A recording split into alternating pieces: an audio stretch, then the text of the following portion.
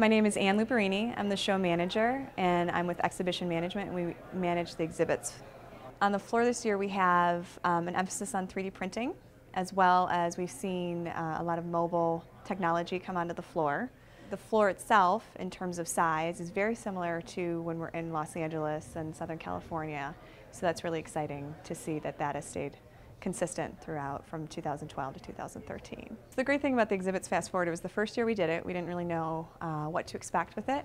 But it was nice because it gave the attendees a little sneak preview before the floor ever opened, the media a sneak preview as well.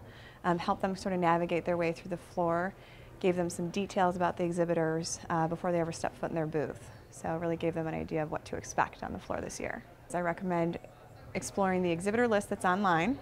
That's made available to the attendees beginning sometime in March when we upload it. Um, and exploring that a little bit before you ever step foot.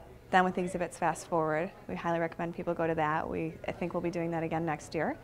Um, and then when you engage with the exhibitors, really find out about their product, see what it is that you're looking to do, and take a look at the categories of what's going to be at the show.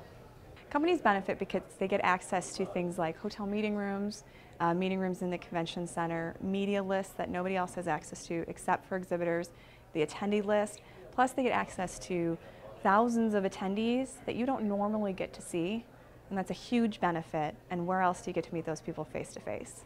Possible exhibitors should know that everybody's really excited to go back to Vancouver, so much so that we push the date forward to get back there as soon as possible. We get a huge uh, demographic of non-US exhibitors, non-US attendees that we don't normally see.